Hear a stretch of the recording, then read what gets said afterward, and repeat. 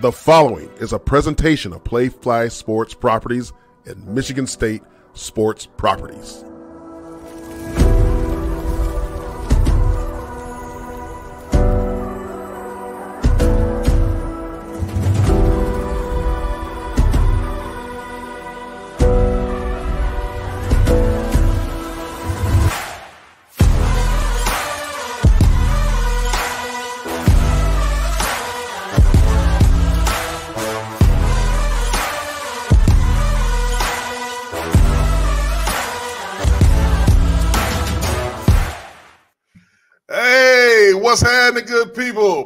Like that Canada Dry there, Chew. It is Tuesday, November 7th, 2023. They're not sponsors. Welcome to the only show about Spartan Dawgs, hosted by Spartan Dawgs. This is Sparta MSU. I'm your host, Jason Strayhorn, along with my co-host, the boss, Otis Wiley, and Jehuu Choop Choop Caulcrick. If this is your first time to the show, we would love to welcome you. And if you're a long-time listener, please know we got nothing but love for you. Be sure to go into that live chat because that's where the party's at. And follow us on all of our social media platforms at This is Sparta MSU. Let us know where you're watching from. Shoot, they're watching us in Thailand. What? It's to Michigan, Canada, your place. Yeah. Hey, And where, where's my Qatar. place? Qatar, you know Canada, man. You got the flag. Yeah, Come on, you know, you you got the know, flag? yeah, they big. Yeah, it is right there. Listen, guys, we got a jam-packed show today. We got two brothers on the show, man. They like t- forget Like Philadelphia, literally straight brothers. We got the brotherly love right here in East Lansing. brothers. I love that Scully. Oh, what's up with that Scully? oh, you know, man. Cause look, boy out here looking bad, bad, man. That fade ain't been. It's been like a week and a half. Usually I'm every week, so you know I'm out here Oh, looking dry. yeah. You know, it's that it's the tweener. and I'm about to grow it, so it's that tweener phase. It's like Ooh, you're getting that winter boy back. right, winter boy, boy. You got to put that wool on, get ready for the woods and hunting, baby. So you got to Well, put something on well, there. Here you go. Huh. And, and, and Chew, we, we gotta say something about the shirt, baby. I mean, hey, what's the special occasion? We got, we got. How many, how many shows have two brothers that play on the same team on the show? How many shows get that? They don't get that. So you got to get nice up for the. You know, we got another running back, another running back coming in here, a Ooh. big back too. You know, so we got that coming in. So you got to, you know, put on for your backs. Hey, what, what kind of flowers are those on that shirt? Hold on, we Yeah. got backs and safety. A back and a safety. We just missing the center. Listen, it's yeah, I don't know what kind of flower those are. Guys, look, man, look, we got to get right into this because we got a lot to cover today. Spartans, Michigan State football beats Nebraska with their first win under head coach Harlon Barnett. Look, I mean, I was 2017, man. Look, I think this was everybody was waiting for this, right? Like we we knew a couple of games ago that we thought we was going to get it, and didn't happen. Uh, at Rutgers, uh, and then we didn't finish through. And then Minnesota, and so to do it at home, I think everybody expectations of senior day, uh, last time the seniors are able to play in the woodshed. Uh, there was nothing better, man, to experience Coach Barnett's uh, first win as the uh, interim head coach, and uh, the emotions I know have been bottled up because you're just waiting, right? You're just waiting, seeing his family. I mean, a lot of people were were affected by you know the way they came out and balled out for for Coach B. She was a special day, especially for the seniors, being that, that it was senior day. And it's strange to have senior day so early in the season, but it was the last time that those guys were going to be suiting up for the green and white in Spartan Stadium in front of the home fans. Yeah, absolutely. You, you get this video here. It's very emotional. You see the guys uh, really playing for Coach B, and uh, you know that that's one of the biggest things that I took. At the end of the day, you see people running on the field. You saw Nick Samac running with the flag, but and you Coach B, you know, getting the hug um, from Coach Izzo, him picking Coach Izzo up. All those things, those are we're gonna get when we get into the breakdown for the game and everything like that. That's great. This is what I'm talking about here. Here it is right here. That's Izzo. Coach getting picked up. hey, he's like, no, no, no grown man, pick up another grown man, right? but you know that that that was something that was special. That was that was a that was a good thing. And uh, shout out to the players, man. They they fought their asses off. They they came out and they battled. Um, and you know we saw you know when everything happened. You know that Washington game was a gut punch. Then you know you had some games that we were in at Rutgers. You had some you know miscues and different parts, Of, you know, just gut punches. But this was they were able to put things together and have a complete game here. And uh, you know, the defense ended things, uh, put pressure, a lot of impressive stats there. We'll get into it when we get to the breakdown there. But also, too, I want to give a big shout out to Spartan fans for coming out, man. Mm, they came out to uh, yeah. uh, Spartan Stadium there because I was I will be one. I was like, man, you know, I hope we get a crowd today for these boys on senior day. But uh Spartan Nation showed up and showed out. They were loud, they were proud, and they supported. Yes, one heck of atmosphere. In November, I ain't gonna lie, like that was the best weather from a game day in a long time. Absolutely. Yes, it, it wasn't bad weather at all. It was nice, and uh, uh, there was a huge section on the visitors' side over there. I think it was around section I don't know, like four or five, something like that. It was a Seven. lot of no shirts going on in Spartan Stadium. I mean, we had some pictures on our social media uh, showing that uh, it, it, was it was quite an event, and so you couldn't be happier for Harlon Barnett. I know we had Rico Beard on last week, and he talked about he wanted to be there. Seen a lot of video of Rico down there on the on the field, getting some nice footage of the win uh, for for Harlon Barnett as he celebrates his first victory as a head coach, and it was good to see the players finally get that win that they've been so close to over the past six seven games, and they got it done uh, in, in front of the home crowd on senior day. It's something they'll never forget, guys. You know, for the rest of their life, uh, you, we don't forget our senior days, and nothing. None of us had as many things to overcome, in my opinion, as the seniors in this class during this season, with the coach being uh, fired in the like not even in the middle, pretty much in the beginning of the season, week two, and still trying to find your way and get everything organized mm-hmm. and keeping everybody together. That's been the biggest thing for me as far as what Coach Harlon Barnett has been able to prove is keeping everyone together. And, and hats off to him and his family uh, for what they've been able to do. Guys, we got to move on to the other news. Over in the Breslin Center just last night, Michigan State basketball, fourth ranked MSU men's basketball, loses to James Madison in overtime, 79 to 76. Yeah, that that was a tough one. Uh, that's the first time since 1970 the Spartans have lost a home opener, um, and the first uh, home game, um, you know, that they've lost since uh, you know 1986. You know, at at Breslin in November, the first home game in November that the Spartans have lost since '86, and first home opener they've lost since 1970. But you know, I I was you know scrolling through. Uh, you watch the game you're seeing the comments on social media throughout the game, at the end of the game.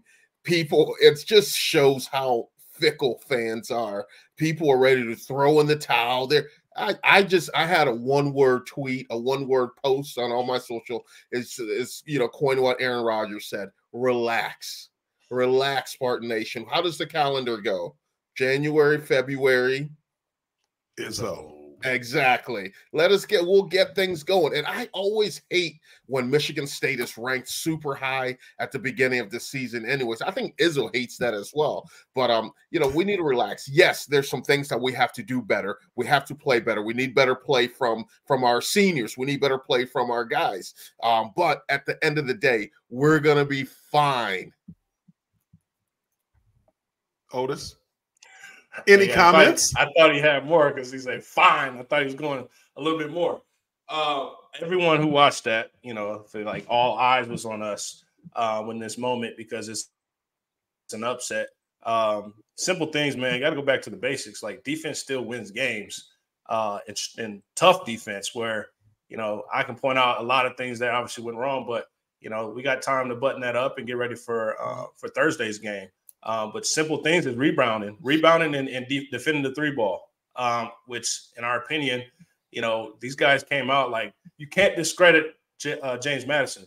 Like those guys balled out. Like it's not like they were like, you know, a rinky dinky program. Like they have players too. And like I think even playing field, college basketball has became a little bit more even playing field. So, you know, credit to them. Like they they played a great game from start to finish and didn't come down, come uh, to East Lansing to back down. So for us, it's just a, a, a, awakening. It's a humbling experience, but it's going to prepare us for those battles when we need it the most. So uh, I'm excited to see what they how they bounce back because they definitely are probably going through the ringer practice because you yes. already know like that's a that's a different thing of like look you played bad and you about to go hard in practice like so we just hope that they they still have their legs on Thursday because I, I guarantee like all those free throws missed man like we would have easily had a, a, a long lead a big lead if we'd have made all of our free throws 15, 15 just wasn't working. points. sometimes it doesn't work. Sometimes it doesn't it just don't fall man. It is what it is. But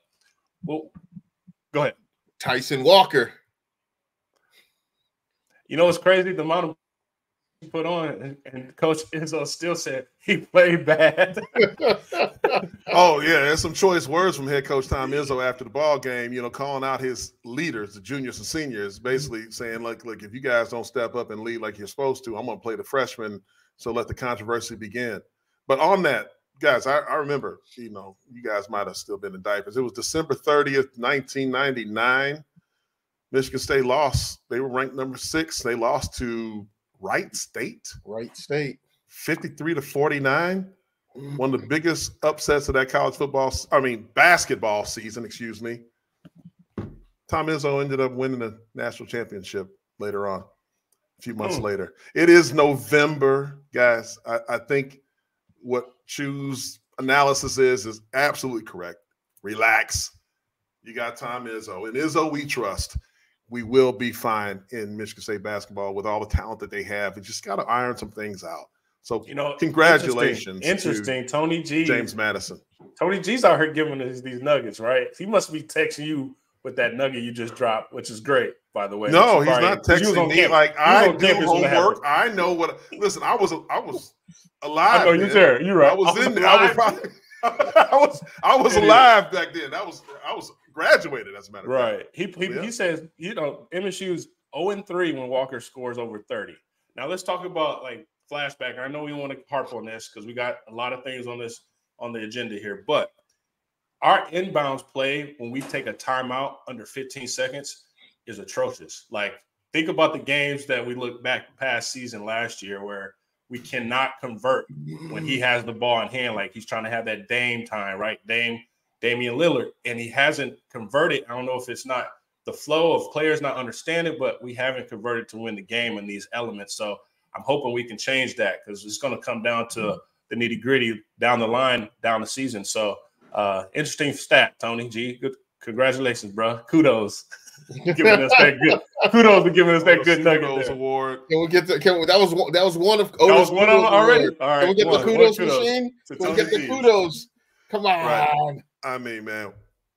Usually, the crack producer Tony L. In this case, didn't bring it on when you called on it, but that's okay. Listen, okay. we move on as we digress. As Sean has said, we've been taking too long on this we have to cover the bad stuff too, Sean. All right. Listen, Spartan Athletics adds another championship. Tennis, men's tennis doubles. Listen, Max Sheldon and Ozan Baris win ITA Fall National Championships double title. Listen, yeah, so like, yeah, I was like, look, Chew, this is your game right here. You know, I know you're the pickleball champion. You're the I did, volleyball I did, champion. I did take, I did take tennis lessons from fourth grade to twelfth grade. So, um, but no, this is great. Uh, you know, this is the first time that these guys played in this event, and you know, having the opportunity to go to that for the first time and win it all. That just shows like there's a lot of winning that's happening at MSU. You know, yeah, we talk about you know the basketball team that lost, but this is something that can be celebrated. So shout out to those guys uh, for you know winning a national title. That's something no one can ever take away from you. No doubt about it. First, first players in program history, not to only earn the entry to this event, but also to win it all. Like, uh, can, it's an incredible thing. This, can I add this, Trey? A former tennis player who is the head coach of our men's tennis program. Like, if there's some, there's some there's some sentence like there's some secret things here, right? Where you got a former former player who knows how to win and knows the DNA of that program. Is so, this foreshadowing? Is this a foreshadowing just, moment by I'm just Otis I'm Wiley? Saying, I'm just saying. All good. Next, on to the next one. You gonna give them kudos? Kudos. Got, hey, listen. You, kudos to Max and those. We got former players that are coaching. Okay. Cross, All right. cross Harlon country. Barnett. I'm hearing Cross Harlon country. Barnett is what I'm hearing from you. Yeah. Mm-hmm. Mm-hmm. All right, guys. Look, moving on. Women's soccer earns second straight NCAA tournament berth, and they'll be the fifth seed when they play Ohio on Friday. And they're going to host this thing. Yeah. Tickets? You got nothing. Yep. You said? Tickets? Tickets, uh, show up. Yeah, let's go. Show up. DeMar Stadium hosting. It's always great to host, um, you know, the tournament, and that's a, an opportunity to be able to have home field advantage. Um, they're in a good bracket. Uh, they are in that no, one seed bracket with BYU, which is a number one seed. So Provo if we bracket. can, yeah. So if we Mhm. can win out, you're going to obviously face BYU. Um, but the, I know the girls are ready. I've talked to MJ today. Uh, she was in office doing work, but they're getting ready, get their mind focused on uh, on Ohio. Shoot, like I mean, in soccer, because I know you're a professional soccer player as well as you're a professional in everything. Like, I know the girls. We talked to them on Saturday. They were like talking about like, we can go to places that's nice and sunny, but it may not be in November in Michigan uh, at soccer uh, for women. Is that an advantage, a home field advantage, if it's cold there and you got people coming from maybe Utah where it, the weather's kind of up and down this time of year? Yeah, I mean it's it's uh it's definitely an advantage when when it when the grass is wet, when the grass is cold, the ball moves differently. So you you, you if you play and then you practice in that, you're gonna understand it. You're gonna understand the trajectory of it and how to you know maneuver around in it compared to someone that has better weather all the way through, and some people that may play on turf or some people you know playing on grass. So it's it's definitely gonna be um an added advantage for the Spartans because that's their home field, their home Mhm. pitch. The pitch. See, we learn something new from Chew every day. It- yeah, it's not just the, the element, it's the ground, right? Scala. Rose Scala. Yeah, yeah. We can't, we can't, we cannot shake Chew. You guys like what you heard so far? Please hit the like and subscribe button. Don't forget to hit that. Doesn't cost you anything, helps us a whole lot. And don't forget to follow us on all of our social medias at This is Sparta MSU. We'll be back in a moment after this message from our friends over at IHOP. Introducing IHOP's new menu with perfectly crispy yet fluffy waffles, warm, flaky buttermilk biscuits, juicy, satisfying steak burgers, decadent eggs benedicts, and more. It's time to find your new favorite. Don't worry, we won't tell the pancakes. Only at IHOP. Let's put a smile on your plate. Hey man, look here. I'm gonna tell you one thing. It is always an excitement to have a current player on the broadcast with us right now. But we got two. We got brothers nonetheless. Jaren and Jaden Mangham joined. This is Sparta MSU. Welcome to the show, fellas. How you doing, boss? Yes, sir. Thank you for having us. Oh man, we doing awesome, man, and we've pumped to have you two on the show. You guys been making plays, you've been doing a lot of things, but like we want to get down to it and understand the journey that you guys have been on together as brothers. Now, you both grew up in Michigan, obviously, uh, but when did you guys start playing sports? Because I, I'm going to start with you, Jaren. Um, well, I started playing sports at the age of seven. Mhm. Um, my dad has kind of always been my coach. Uh, he kind of coached me until like my freshman year of high school. So, you know, he's always been in my ear and he knows how to get the best out of his kids. So, um, you know, he always pushed me to go hard and, uh, you know, starting at a very young age and learning different things, I uh, became very knowledge, like knowledgeable of the game. You know, so um, I'm very grateful for that experience to have.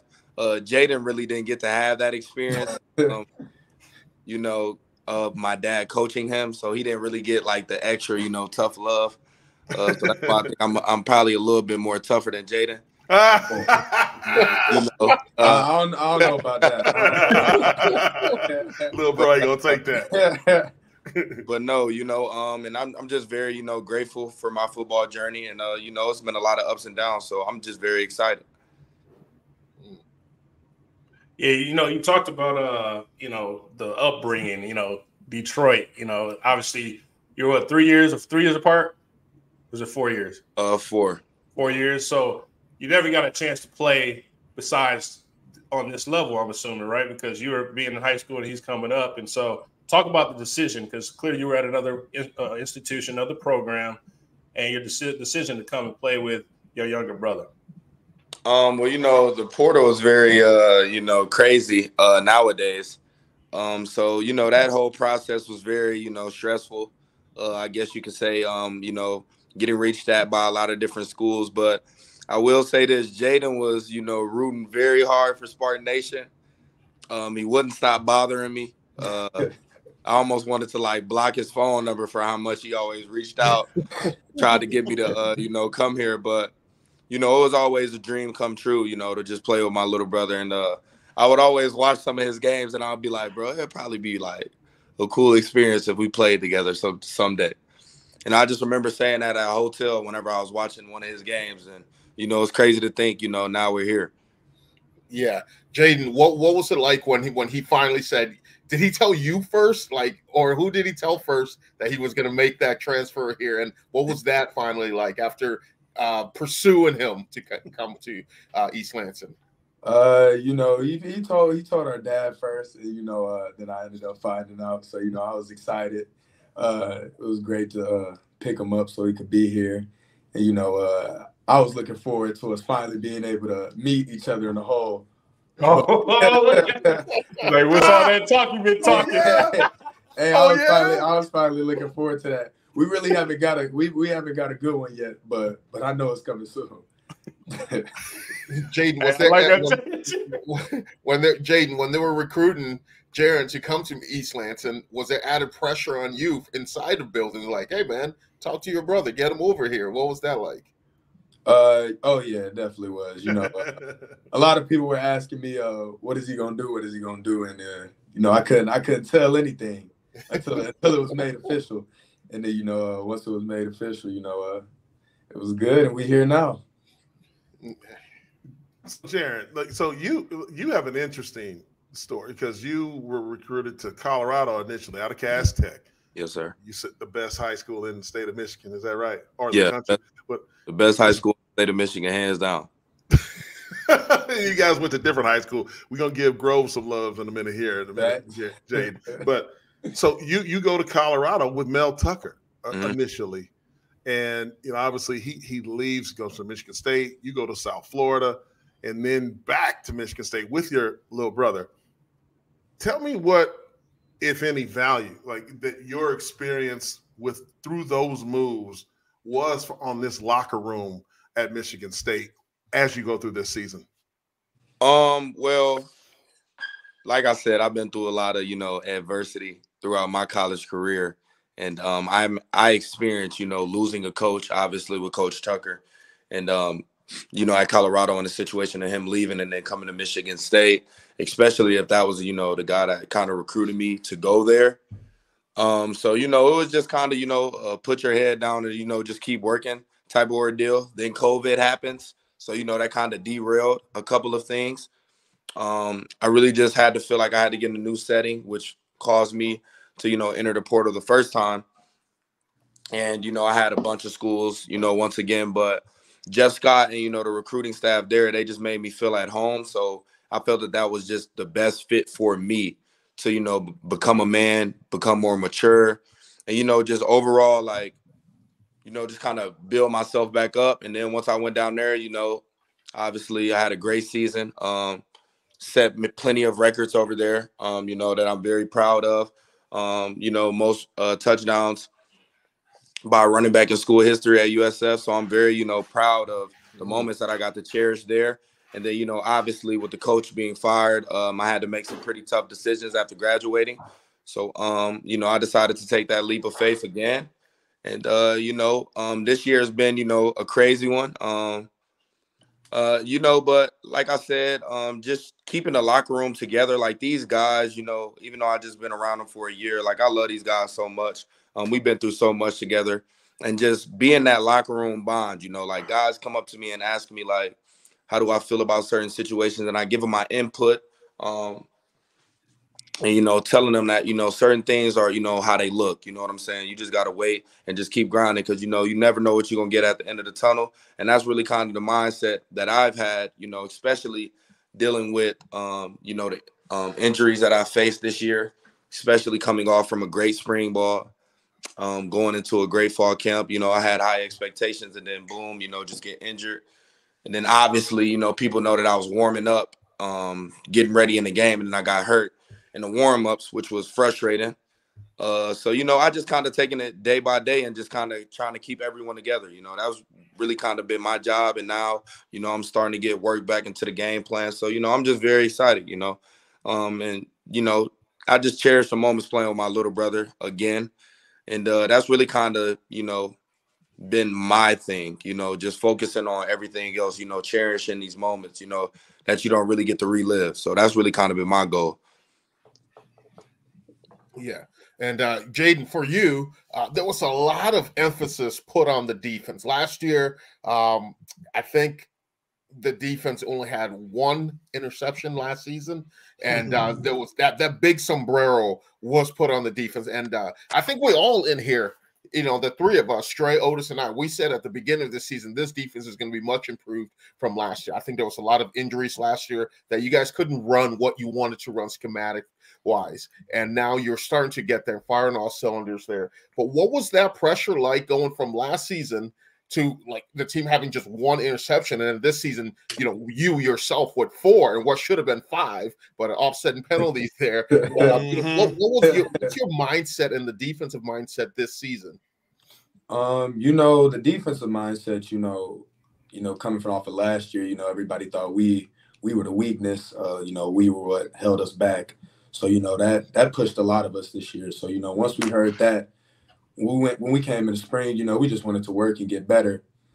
And you know, bringing in Coach Salgado and all of that that's helped that's helped the defensive backs out a lot. You know, Coach Barnett. You know they've been coaching us hard, doing all of this. You know, Coach Hazelton always stays on top of us. So, you know, just with all of that, that's been able to make us just so much better.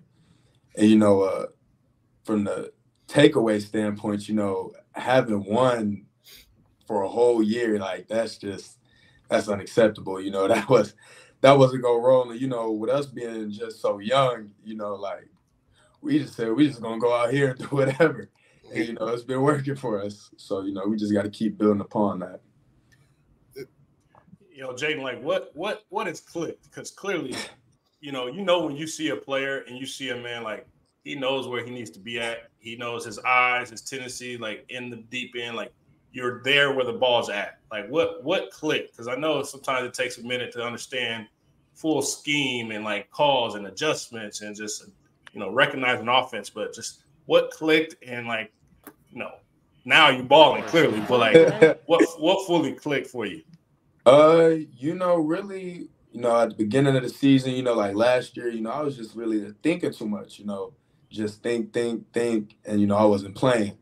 And you know uh, now it's just I go out there and I'm just ready to play. You know, uh, Coach Salgado, uh, he's helped me out a lot. You know, being able to gain his experience for everybody in the room has helped out a lot. And you know, with him coaching me and telling me, giving me a few pointers, it's definitely put me in the right position to make a couple of plays.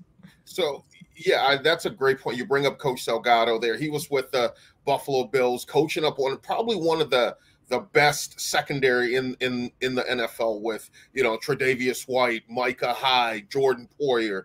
You do, you know do you guys watch film? Do you person watch film or who in the league you look at and try to emulate your game as? And then what type of questions do you ask Coach Salgado? Because obviously both of you, your goal is part to play at the next level, and he coming from the next level, and you have that, you know, wealth of knowledge in your position room there. So what is the his his um, knowledge from the NFL? How has that been bestowed upon you, and what kind of questions and kind of film do you watch on? Uh, you know, having that knowledge is great. you know, with us being so young and him being able to come in and just mold us has been outstanding for us because you know he's just been able to help it out, help us out with a lot. And, you know, watching the uh, Bills film and doing a couple of the stuff that they do in game, you know, it's definitely it's definitely taking us to a whole new level. Um, but you know, that's definitely I really just say it's great with him just being here and being able to help that. You know, we always watch film on what to do, um, some of their coverages that we've implemented. Uh, and you know, him it's helped out the safeties a lot. You know, he's put the safeties in a lot of positions to make a lot of plays. And, you know, we've been coming away with them. There's no question the guys been coming away. I mean, what second in the Big Ten right now with, with your four picks and eighth in the NCAA.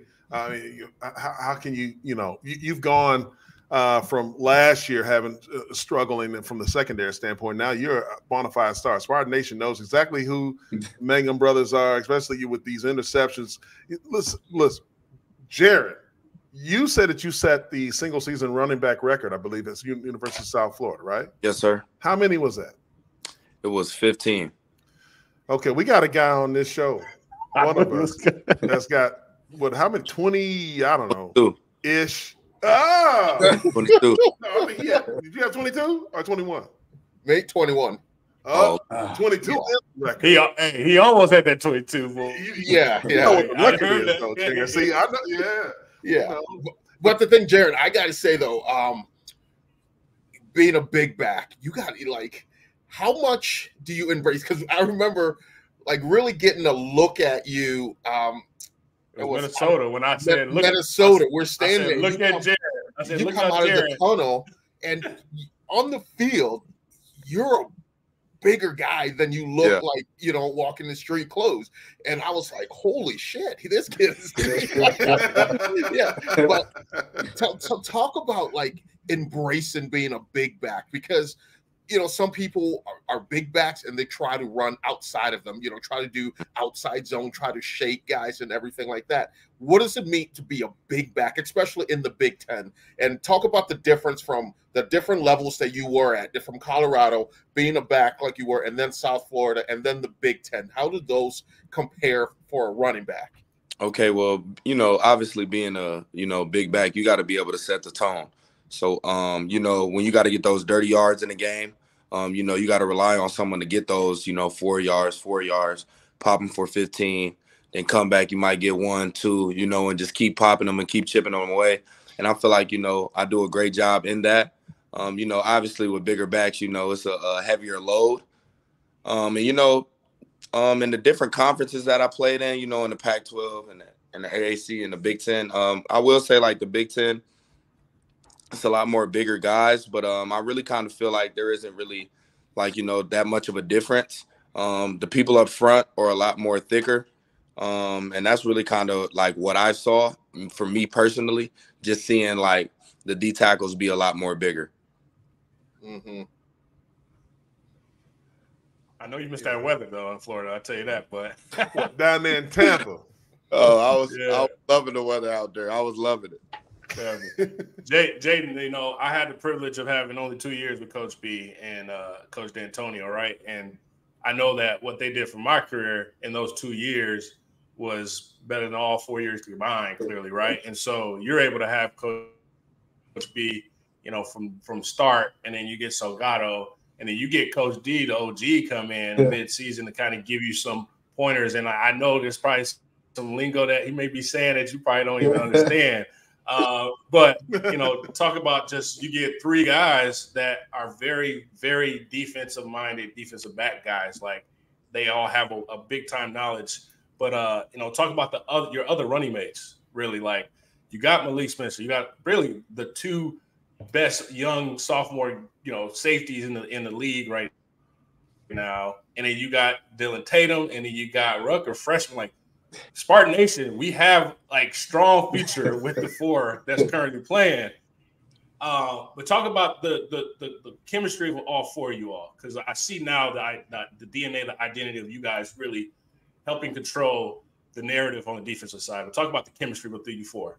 Uh, you know, like I said uh, before the season had even started, you know, we were looking at it. We were we were really young. You know, I think we we might be the youngest secondary in the Big Ten. So, you know, um, we just made it a big emphasis to just go out there and play. I mean, you know, we knew we were going to make mistakes, but we also knew we were going to make plays. So, you know, we couldn't let any of that hold us back. And, you know, with having Coach Barnett, Coach D'Antonio, and Coach Salgado, you know, that's just crazy. you know, like all all three of them just being able to help us, you know, being able to hear something from Coach Salgado and then a play later, Coach D'Antonio coming up to you to also coach you, you know, like it's crazy. and you know that's definitely helped us out a lot. And you know, really, you know, the future is just bright with us. You know, we're just super young, and you know, right now we've been doing great things. So I can't wait to see how it is when we get older. Yeah. Um, so let's talk about the fact that we have, you know, before this past week, it was a six game losing streak and losing by just heartbreaking ways, like gut wrench, a punt return, and then you have, you know, the blunder with the special teams at Rutgers and just different things that just keep adding up. And then finally, finally was able to put everything together on this past Saturday, and especially ending with the defense on the field, putting um, and the, throughout the whole game, we all knew the the game plan going in. Nebraska wanted to run the football, but we talked about it. Stray and I talked about it in a pregame show. If we can take them out of their element and make them one dimensional, make them throw, because we said if you rattle that quarterback, he's going to turn the football over. Um, so it was that your guys' thought process, and how did it feel after the game, finally getting that that you know L off your back, and now you're winners in Spartan Stadium. How did that feel? That felt great. that felt that felt amazing. You know, uh, you know, we knew coming in that Nebraska, I think, was the number one run offense in America. You know, they run predominantly the ball, who knows how many times. So, you know, we knew if we got them off uh off that, we knew it was just going to be on the secondary and uh, us really holding it holding it down on that back end. And so you know, you know, we did our job, and you know, it was just great. I mean, really. But I mean, you know, we just got to keep going and just pushing through. But I mean, it, it was good. No, hey, look, guys. You know, I, I, I love this, man. And, you know, I got a lot of questions for all of you, for both of you. But you know, one thing, Jaren, you brought up was when you started playing sports, it was you were like you was in police playing little daddy ball. So daddy was coaching you, and people, you know, daddy ball has a um, a bad rap, I think, because people sometimes think that that means that it's it's like soft and like coaches are gonna. Uh, you know, let the kid be quarterback and be the pitcher in baseball and all those good things, right? You know, shoot the ball whenever he wants in basketball. But for you, it sounds like you know you got a father. Obviously, with you two boys doing and playing at the level you're playing, that don't play any games, right? So, how was that? You know, as having your father coach you, and you said that Jaden didn't get a chance to do that. Like, so how, what did he instill in you, toughness wise, mentally tough, that that that you carry on today? Um, well, you know, obviously, no one's gonna tell you the truth more than you know someone who loves you. And uh, my dad always kept it, you know, truthful. I have, I can go out there and have the best game in the world, you know, 250 rushing yards, five touchdowns. He'll still find something I can get better with. And at the time, I'm gonna be completely honest. I was very frustrated sometimes. Hmm. Um, with the tough love, because I'm like, dang, like, man, I'm I'm out here balling, like, you know what I'm saying? Like, I'm not really doing this. But now I thank him for that because, like, the lessons that I learned with football, I really took those lessons into life. Like, literally, like, it's so crazy. Like, just going through, like, some of those adversities that I kind of went through with my dad and, like, seeing those fall into life. And, you know, I love him for that, you know. And I always told him I, I appreciate him for that, you know. And uh those times, you know, back then when we were, you know, button heads sometimes. It was all out of love though. So I, I love that man to death, and uh, you know he he did a great job in raising us both. And um, you know, I hope he's uh, proud of us. Well, I know he's proud of us, but you know, he's very picky. I know he's gonna try to find something that uh, we can improve on, which I love him for. And you know, I'm just very blessed that you know he took that time and uh, you know built that bond with me. Mm, Absolutely. Awesome. There's there's just two things I got to uh, have for you guys before we let you go. One, one is a piece of advice, and I'm sure uh, Stray and Otis are going to say this, you know, share the same sentiment with me.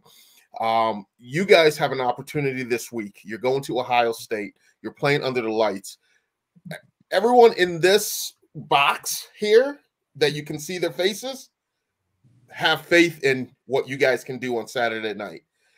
Everyone in the chat a high percentage have faith, but there's some that's like, eh, I don't know. Everyone outside don't have the faith in you guys. So I'm going to say that right now. But we have faith in you guys for what you can do on Saturday at Ohio State. This guy, Jason, they were number one. It was what 25 years ago today. Today. We watched it. Yeah. Yeah. Yeah. You guys watched it. Mm-hmm. And Stray was the, the center on that team. So he can tell you more in depth about what it means to go down there and beat that team. That was 1998. Yes, yes it was. They were ranked yes. number one. Yep. Uh-huh. Number one. What we called this game, the old heads that played Spartan football, we called games like this money game. Yeah, money baby. game. Yeah, this is where sure. you're on national TV. You both want to play at the next level. You get to showcase. Jaren, you're coming back now. I see it. You're coming back in there. You're getting healthy. Now run, run that ball, tote that rock.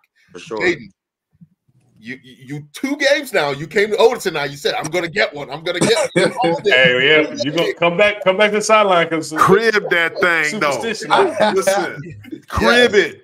That's what you got to do. Because look, so that's you, my you advice making the plays. Guys.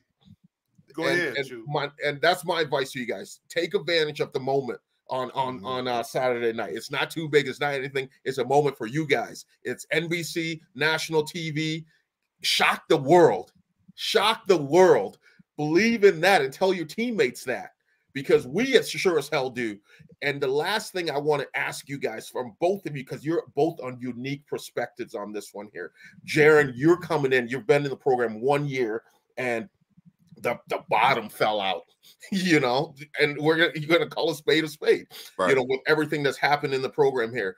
Jaden, you've been here. To, so, like, what would you guys say to teammates that are thinking about maybe transferring out or recruits that are thinking about choosing Michigan State and guys that are already committed and you see some are falling off right now. What would you guys say to those people? Um, I guess I'll go first. Um, you know, sometimes uh, you know, the best decision for you is to find somewhere else, but I will say this though, think long and hard about the process um, before you do it, talk with your family. Obviously, um, pray on it, sleep on it. You know, um, you got to also take an account of everything. You know, the brotherhood that you built. You know, with your teammates. Um, obviously, you committed to a university, not a coach. Um, so, hey, say that one more you know, time. Say it one more time. You know, you you committed to a university, not a coach. Um, so you know, obviously, the bonds that you built with your teammates, the brotherhood, um, is ultimately how do you guys want to leave your legacy? Um, you know, the class that you built, um, the class of guys that you came in with. Um, you know, it would be, you know, sad to see them all disperse and go away. Uh, so you just really got to ask yourself, and you know, just um, sometimes the best choice is really just to thug it out. Mm.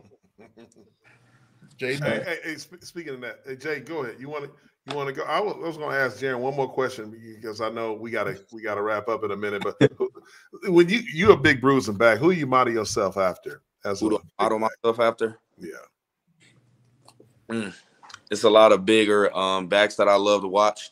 Um, Derrick Henry is one that I love to watch.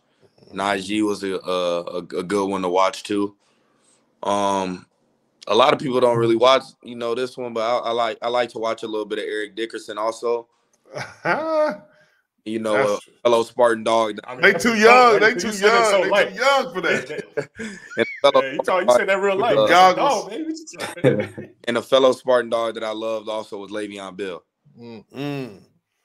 You know, like for, for I got two big backs on on on the show right now, so I gotta like you know get some big back mentality. And like this is one of my favorite quotes from a guy who played.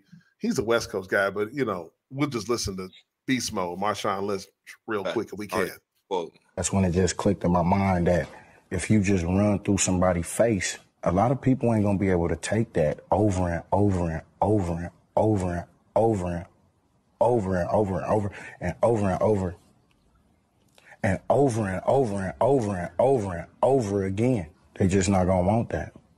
Think there's a deeper metaphor there? Run through a motherfucker face. Then you don't have to worry about them no more. That's fact. We should we should bleep that one out. It's, it's good.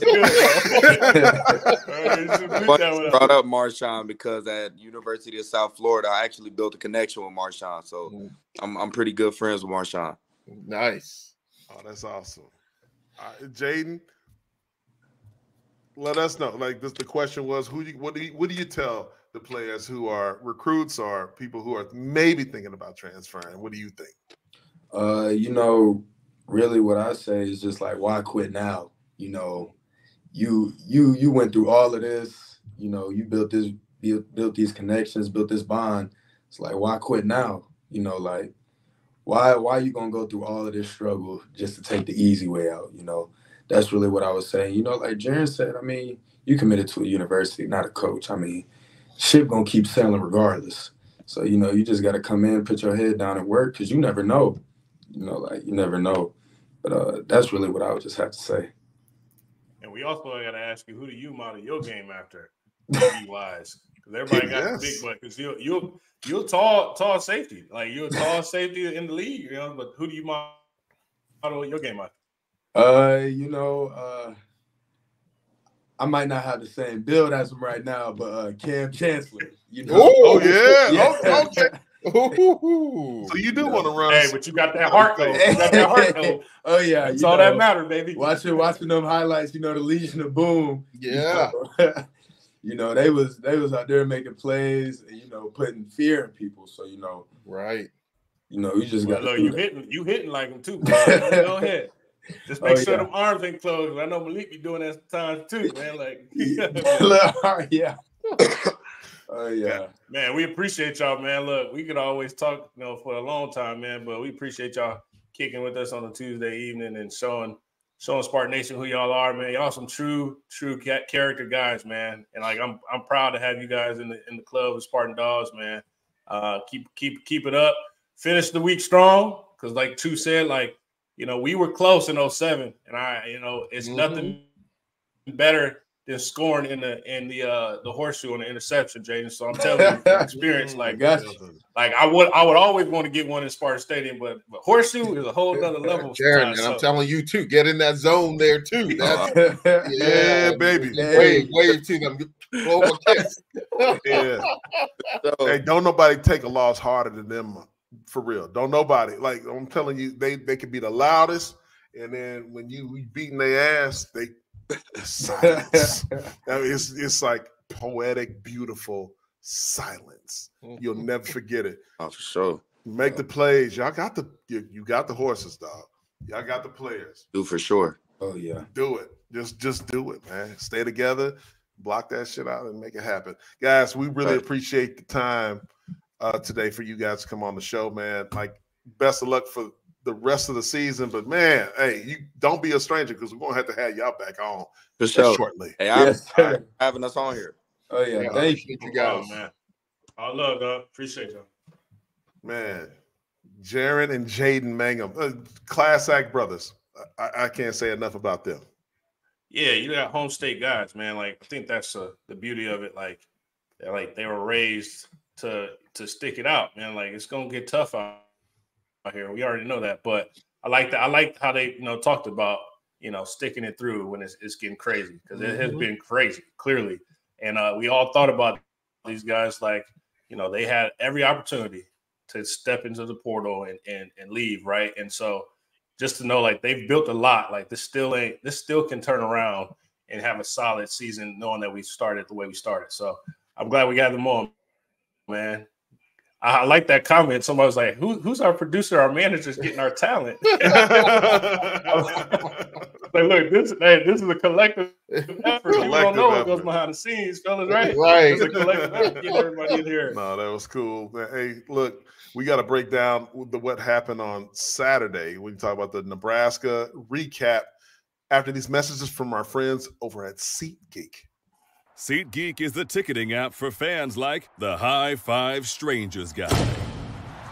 Game winning interception? First down? Just a nice solid tackle. If you're in arm's length, you will be swapping skin with this extrovert. You see, he knows SeatGeek got him a great deal on tickets, so he can focus on what he does best smacking palms. SeatGeek handles the tickets to sports, concerts, and more, so fans can fan. Yes. So fans can fan. I love them tickets, Baba. I'll make a joke. So when we get on the field on Saturday, uh, I'm getting I'm doing work. You know, I'll be hustling, right? Like I'm on, I'm on the go always. You know, two always calling me about something. Right? I'm like, yeah, are you in a good mood or not? I'd be like, no. You know, uh, so I see Chon up there, uh, you know, up on the up in the stands. I'm like, once I saw, I thought he was a SeatGeek guy quickly. Like, Chon, I had to call you out, man. I thought you was a SeatGeek guy. Slap your phone, that does look like Sean a little bit. A little bit. That's funny, man. All right, look. All right, here we go, guys. We got to get right into it. We're gonna do the main financial stat recap right now when we talk about Nebraska with their 20 to 7 victory over the Cornhuskers. Be sure to go to 248-347 main mainfinancialgroup.com. Jordan and the guys over there great take great care of you. Spartan Nation's number one wealth managers mainfinancialgroup.com. Fellas, you know, let's get into it, man. The 20 to 17 victory by Michigan State. Katin Houser, 13 of 20, 165 yards and a touchdown, and 15 carries for my man Carter, uh, JU's son, for 50 yards. How about my boy Montorie Foster Jr. Hey, there? forget him, baby. Let's go, that boy. He done, hey, we got a whole segment on him. Hey, I know live. seniors in the Pops chat. Live, baby. Seniors in the Live, chat, so we got live. we got to we got to go in on Montorie. Let's go. Listen, to, to have your last home game and have that breakout, like he, it's been a game where we we we know like what Montorie can do, and for him to go out there and and really put the team on back from the wide receiver standpoint, you know, when he got that end, uh, touchdown in end zone, I was like, please, please don't overturn this ball. It was like I felt like the ball did hit the ground, but it didn't because it was perfect how he caught it. But he put you could see he was playing with no no fear. He was playing fearless. He was playing free. This is your last time in the woodshed, and I'm glad he put it on uh, the team on his back and get this dub. And I know Senior was ecstatic. I know he was dancing. He got on the jumbotron. He was out there doing everything, man. Was just excited that we here. You know, Montorie finally had that breakout. Yeah, he absolutely did. And uh, That's yeah, check right here with tight end, little little out route here, little little pass. The, But- the thing that I that I really liked about this game overall is the de- um the defense took theirs away, the offense protected ours. They had three turnovers uh, to our zero turnovers. And anytime you can play a football game and have zero turnovers, you're going to win a lot of football games that way. There it was right there. You know, too, I'm I'm thinking like from a standpoint of the pace of our offense when we're driving down, like, you know, it seems like we had control of the tempo, the momentum, poise, you know, like this touchdown to to Fitzpatrick. Like we had everything going to your point, but then like I'm still scratching my head on that the last like minutes of trying to close out the game, and it's just like where why are we why are we getting cute? Why are we going to different things that you know what we need to do what took us you know to get there? We need to keep doing it. Uh, what what are your thoughts on, on that last kind of few possessions where it was just like three and outs and we wasn't getting to the first down where we can close this this this game? Well, I think the big thing is, um, you know, throughout the game, at the beginning of the game, what we did well was we stayed ahead of schedule. Um, we stayed on schedule or ahead of schedule. And what that means is on first down, you were able to pick positive yards up. So it, it makes it a lot easier to call uh, a second and six or a mm-hmm. second and seven. And then you get to a, a third and two, third and three. We were able to do those a lot and pick a lot of those up you know, throughout the game, staying on schedule. And later in the game, I thought sometimes that when the pressure gets on you, when you have a lead, and then as a play caller, you start to get, you know, okay, the, what can we do to be conservative, but you want to throw a wrinkle in there, and that's called a high percentage wrinkle. So if you do a reverse or something like that, or a reverse pass, or you know, that's a high percentage wrinkle when you do that reverse because you're still wanting to do something that's not traditional between the tackles. But I think, you know, like you said, I would continue to just stay on pace and call the game like we've called it, call plays that's going to keep you on schedule. And when you're behind the chains, it's a lot tougher to do that to um, you know, to convert and close out the game. But you know, so to that point, to your point right there, Chu, when you're talking about the mind, the offensive coordinator. You have, I think it was five and a half minutes ago in the ball game, and then another time we got the ball back. I think it was in the three minute time range in the game. You have a 10 point lead at one point, a three point lead in the other. But when you get into the high percentage, what did you call that? The high percentage play calling? Yeah, yeah, you, you yeah, your high percentage um while they're more non-traditional plays. Yeah, non-traditional plays, but you call the reverse and then the reverse pass. To me, I, I, think that you should take any of those high percentage plays out of the book that have anything to do with pass when you have a lead in the ball game at that juncture in the ball game, because you know, as a person who, who you know, we we all play the game, and we've watched a ton of football since then. What there's no benefit to throwing the ball, putting it in harm's way. Number one, you can get a turnover, and the other thing that you can do is stop the clock. When you have the lead, the last thing you ever want to do is stop the clock. You know, there's video going around that people, you know, zoomed in. I think uh, one of the cameras got Coach D commenting on one of those plays. it, it, look, there was a lot of commenting going on for all. that was the targeting. I thought that was the targeting call. That so was, that was the play call. I didn't know. Yes. So so straight to your point, there there is a difference in a high percentage risky play, and then when you're in your four minute offense of grinding and running the clock out. If I'm in my four minute offense now, and uh, what we didn't do, you know, we you like I'm not going to put the ball in a receiver's hands to try to throw the ball you know, you even though you tell them if it's not there, you run it. I'm going to put it in my court. But there are high percentage throws that you can make when you're in your four minute offense. Okay, sneaking this, your back out. Go this ahead. this this this this particular thing that I was discussing was the it was five minutes, but it, it's still, in my opinion, you should be in the four minute offense, whatever yeah. the four minute offense is. And we threw a a punt basically down the middle of the field to my uh, to um you know the same guy who I think, you know, when we're talking about uh, number zero, who was a Lonte transfer. Brown. yeah, Brown. Brown. Yeah, you're trying yes, to get him. You're trying Alante. to get him a stat. It's, it's like it, it, felt to me as if we were trying to get him a stat because he transferred from Nebraska. Well, I mean, I've said his name yeah. a thousand times or whatever I forgot. But listen, it was it was that seemed to be more paramount than winning the ball game at that time because throwing that pass stopped the clock and allowed for Nebraska to get the ball back after, you know, subsequently have to punt because we did not get the first down. First down is so important. Everyone knows that. I agree. And, and I think, yeah. So uh, I don't know. I don't. I don't think that you're. No, no, no. yeah, but I'm saying if you, if you do want to, if you do want to, earlier in the game is a, is valid, but not fine. in the four minutes. Yeah, that's just, that's what you're saying. The highest, but there are right. there are passes that you can make that is, like I said, a high percentage. Put him in the backfield. Align, they've aligned him in the backfield before. Give him a choice route so he's not going out further than five yards. And if it's not there, and roll.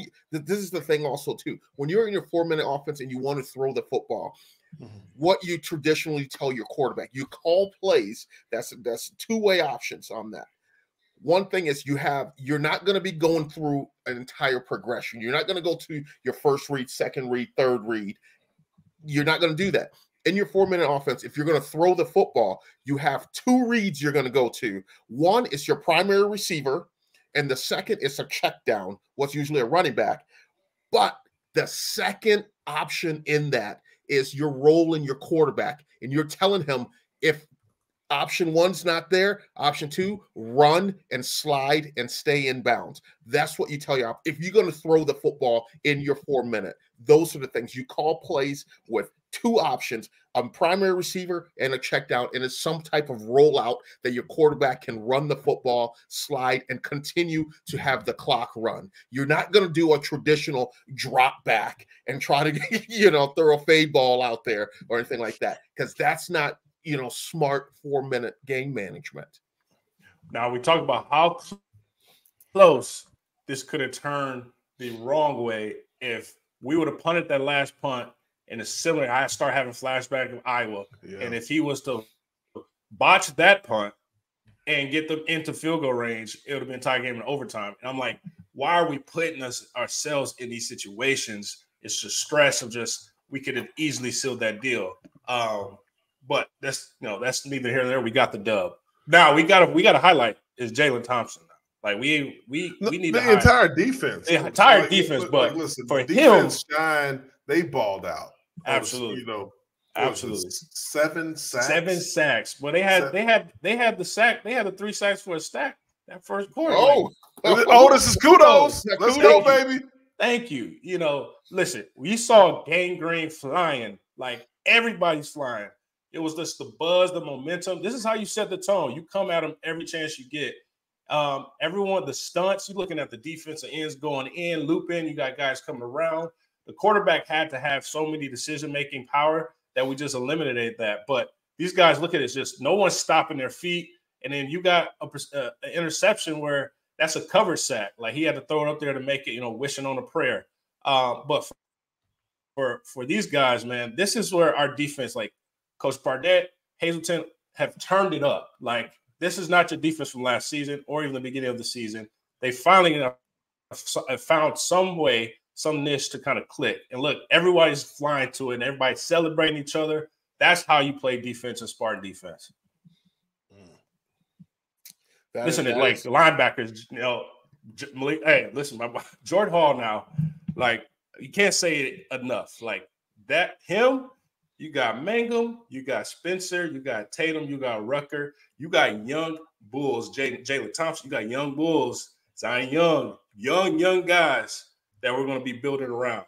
And if they all stay, we'll be building around. Future is bright. Future is bright. You all, y'all, y'all Spartan Nation, enjoy, enjoy Jordan Hall for another two seasons after this. Because this once he gets his three years of eligibility, he's going to the league because he's that type of player. Already being a freshman and playing at this caliber, freshman All American right now, oh, and uh, playing at this caliber. I think the last freshman All American linebacker we had was it Greg Jones, or Absolutely. Yeah. So Greg Jones, yeah. So he's playing at that caliber right now. And so it's only going to get better and better as he's going to get bigger, he's going to get stronger, he's going to get faster, and his football IQ, his football knowledge is going to expand even more. He's going to look back. I guarantee you this in the spring, he's going to look back at this season and be like, what was I doing out there? Because yeah, he's like, better. He's gonna be. yeah, yeah. Now I got like I gave another. This is my last kudos. Like Jalen Thompson, a guy who comes from Cass Tech mm. and patiently, I want to say like very patiently, has waited for his number to be called. Mm. And when mm. his number was called, what did he do?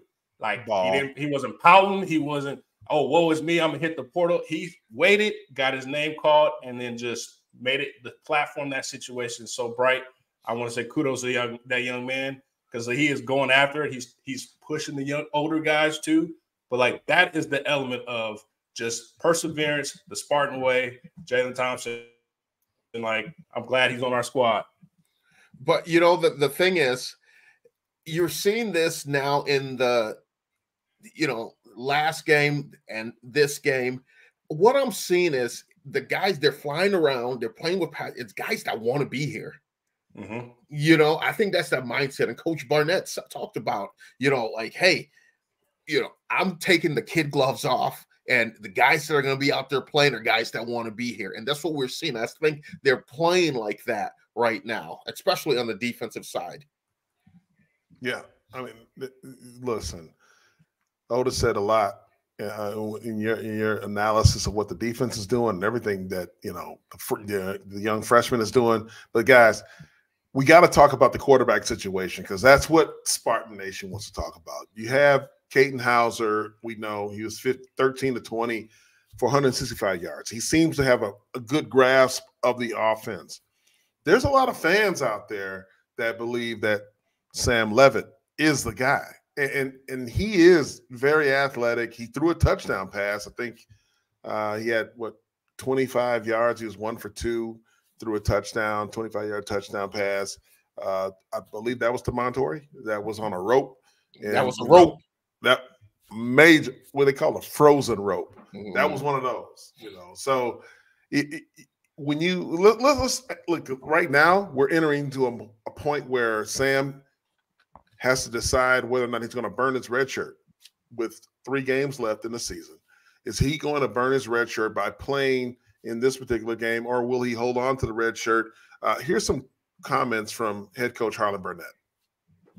Best for the team, and that's what he wants to do as well, and so and for him as well. So we're, we're, we're still working through it, to be honest with you. And then if he was to decide not to play again this season, where would you go to, for depth at quarterback with, you know, with Katin being the only healthy scholarship guy, Andrew behind him, and, and would you move somebody to quarterback, or do you think Noah could come back? Uh, you know, you still have Drew Schorfhaar uh, as, a, as a player for this playing quarterback as well. Um, so, you know, that's we'll, we'll, we'll stand pat, but you know, no decisions have really been ultimately made concerning Sam yet. So we'll just keep working. What do you think, fellas? No, I mean, I think they'll make the the best decision. You know, and obviously, I think Sam's a team player guy, but like it is a future decision. So like it's an element of, you know, it's crazy because I mean the rules have changed so much since we've been since we played. Because oh, yeah. like I feel like the first first non conference four games is where you're able to get a little bit of love on on the field and you know, before you play that Big Ten opener, then you have to decide. Uh, for so being so late, you know, in the season, you know, we need we do need him, right? I think we need that element of it. it's okay to have a one-two QB punch like other schools have to to kind of give the spark and the fire where somebody's down, another one comes in, gives you spark, and it elevates Katin. Like, because I think that's what happened where you know when Sam came in and, and started to give it the spark, it gave Katin another spark to come out there and then obviously drive. And so it's a it's a tricky situation. Now, when you say Spartan fans want to know, like it is what it is. Like we we will figure it out, but you know, you do hope that it's best for he does what's best for his his personal career longevity, but you also don't want to go in uh, with an unproven backup, and then you got Katin as well to be you know facing a, a, an outstanding defense in Ohio State. Uh yeah. Uh my my thought on it is college football has changed. Uh you don't need that red shirt year. You know, if you're gonna play football, you got guys that that come in and play one year, two years, and still play in the league. Um, you know, so college football has changed. Uh, Sam has that. Um, you know, his his dad played high level. His brother plays in the league. He has that benefit of the doubt behind him already. All right, so I think you know coming and playing this year getting meaningful game experience under his belt, understanding to read defenses, understanding you know what throw to make, what situation, reading your keys and, and identifying fronts, assessing the top, you know, all those different things. You're you're gonna be fine. And that's gonna add to your arsenal. That's gonna one add to your um your um confidence going into the off season because you've played in the game. You've played in games. You've played in meaningful games, and uh, you you know what it takes. That's going to add to your confidence. You're going to go into spring ball with more confidence, with more of that athletic arrogance that you can win and be. You got to play three years. You don't need to go four years now to play in the league. You can still play. He he still has a lot in front of him. I don't think I think red shirting now nowadays is just pointless unless you're a guy that comes in and you need to add weight on to yourself and develop, you know, physically that way. But I think um, red shirting now is is a thing of the past. If I'm a freshman and I'm playing against Ohio State, ain't no way I'm burning. Ain't no ain't no way we talk about it. The money game, the opportunity, like you said, you. I'm a freshman. I'm going to Columbus and I'm playing against the Buckeyes. Yeah, this is what you dream about, right? Like you might not get this opportunity, and so like it's an element. Why why do it? Like this is going to help you propel you for the next season. So right. I, I don't see why you would. But as a freshman, you, in my opinion, you, I, you, would not burn. I would not burn. Like, I'm, right. I'm, I'm, i know I'm as a quarterback. I'm like, I so, will play. I will play. So, like, why would you would not? I'm sorry. I would not burn my red shirt. You I would. play. You would burn. I would. I'm would sorry. I would. I'm sorry, you would. would right, yeah. We're sorry. saying this incorrectly, and it was like, I, yeah, we're saying, yes. And the thing too, like, it's it, and Sam's at an advantage here he's being put in, except for that last the, last this first series, he was in a backed up situation there. But um, when he's being put in the game, it's in good situations that you know we need a little spark, and he can come in and change of pace kind of guy right there because defenses haven't quite figured him out yet. So he's put in there and he's having success. He's seen success, and that's growing and building his confidence right now. And like I said, I'm gonna red shirting is is a thing of the past. Guys are going to come in. That's why guys go to IMGs. That's why guys go to different different schools. That's why they go to these prep schools, private schools, so they can come in and play right away. Back when we were coming in, was like, oh man, you know, I want to get big, strong, fast, learn the playbook, and then get in there. Guys are coming in now with the mindset of playing right now because it's that three and out mentality. Yeah, you, you, you're absolutely right. When the transfer portal being where it's at. Shoot, like the, let's if we want to get dive down into the the details is why development isn't paramount anymore. You're not going to be able to, you know, de, you know, develop guys and and like red shirt them. It's because you have a transfer portal and it's rampant. Coaches are opting to go to the sure thing, the guys they know who've already adjusted. We all know there were players in our classes. All three of us can attest to there being cl- players in our classes that didn't show up or they were there for a very short time.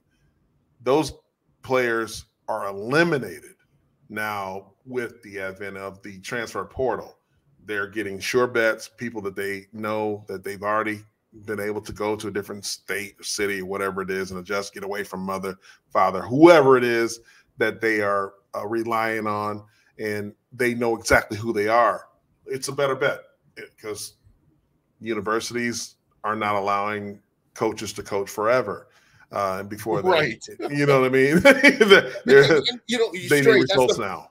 That's a very good point there, Stray. Universities aren't giving those coaches the, the four year, you know, to come and develop and build your program. It's, no, you got to come in now. You have two years tops. You got one year to clean house, make the house look nice. Year two, your ass better be putting up points going to bowl. You know, hey, it's a flip or flop situation. HGTV, right. and, and, and so these kids, yes, these, these, coaches now, what they're doing is they're going to find the guy that can play. They, they don't care. They don't care about red shirt and guys anymore. They're going to come in. Hey, you can play. You can help us. Boom. If we got to go to a two two quarterback system, two running. You better red shirt in kindergarten. That's why I tell parents nowadays, you better red shirt hold early. Them back, hold them back. Hold them back yeah. because they ain't gonna. Be, you are the, absolutely the, right. Yeah, the times of coming in and getting yeah. bigger, stronger, faster are gone. Gone. That's what. That's Long why you get gone. the reclassification. We had, we had Ike Reese on this. Done show. and dusted. It's Jehuu Done and dusted. Done and right. dusted. Right. Remember we had Ike Reese on this show. Ike Reese, great Spartan, legendary Spartan, played I don't know 100 years for the Philadelphia Eagles tough guy. He he would not be a Spartan today, based off of how he left high school. You know, as a guy who they were, you know, and also ran. I don't know. No, there are none of those guys that are being signed to Division One scholarships anymore, and it's a shame because there's going to be some great players, as evidence of what the history has shown us, that will be passed over for uh, what is so-called a sure bet in the transfer portal, guys. Yeah, you know, and you know too, you got you got guys coming in. The Hasselbeck kid, he's going to be coming in uh, next year. Yeah. There's yeah. going to be some other quarterback coming in. So you don't you don't got that time, Skip.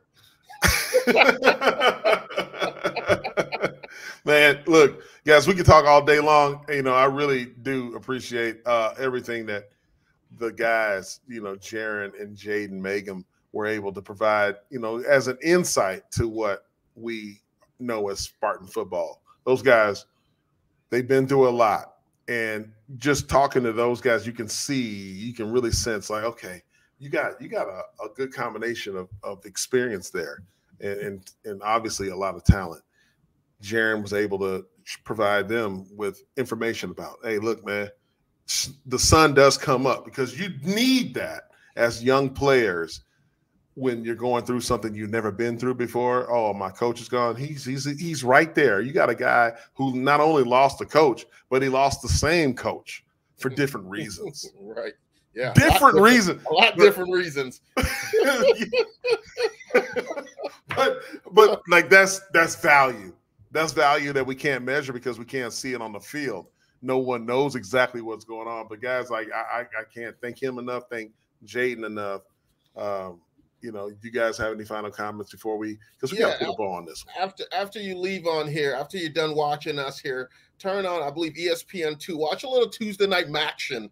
The quarterback the from MACtion. the quarterback from University of Buffalo, Cole Snider. That kid, he's a kid I coached back in New York. You know, playing the he he was originally in Rutgers. Then he transferred back. But he ain't in the uh, green and white, so we ain't watching. I'll just play. What's that? he, he it's Tuesday, Otis. Try get him in the green and white. It's He's, he's going to be a grad transfer. He's going to be a grad, a graduate. You know, we we could, you know, hey, throw him out there. The kid, he he got to carry them things in a wheelbarrow because he's a gunslinger like that. Okay. I can't be mad at that, man. Listen, Tuesday night action. Uh, selfish plugs are, are welcome okay? Because everyone wants an edge, just like they do over in Ann Arbor. Anyway, guys, we'll don't, see what's going on. Don't, get don't think we hey, listen, don't think that we forgot about that. kind of stuff. We gonna what's his name? Tony Petitti. We gonna holler at you. To, we gotta by the time we come back and reconvene, re- hey, we man, need look, to be talking. We're gonna have a whole show on that. It's a Wednesday show, like between Tuesday Thursday. It's going down Wednesday, 5 p.m. Wednesday. Re- we oh need to know. They reaching, bro. They are reaching for. Oh my gosh, they reaching far. They trying to reach far, far to make sure they they clean as a whistle. But yeah, we digress. There. Not gonna happen. They might. They might. I, no, no, no. I said the same no. thing. I think. I think. I said the same thing, man. Harbaugh's gonna pull best. I love it. I love I it. I love it, Steve and James. Look, look, they are. They damn sure are.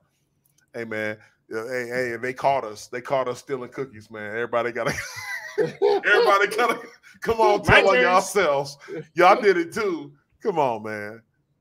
The hell out of here. CMU sold us out. ain't nobody sold us out. We're gonna be all right. Listen, for Jehuu Caulcrick and Otis Wiley, I'm Jason Strayhorn. This is this is Sparta MSU. Have a good night. God bless you. Go green. Go white. Go white. This is Sparta MSU is a combined presentation of Playfly Sports Properties and Michigan State Sports Properties. The show is produced by Tony LaBarbera, Tony Gastella, and Process Driven Consulting. Additional support is provided by Brendan Duravage. On location technical support provided by Good Fruit Video. Be sure to follow our host Jason Strayhorn, Jehuu Caulcrick, and Otis Wiley on social media. To stay up to date with all the latest This is Sparta news, please like and subscribe by visiting our link tree and tell a friend to do the same. Thank you for your support. And as always, go green.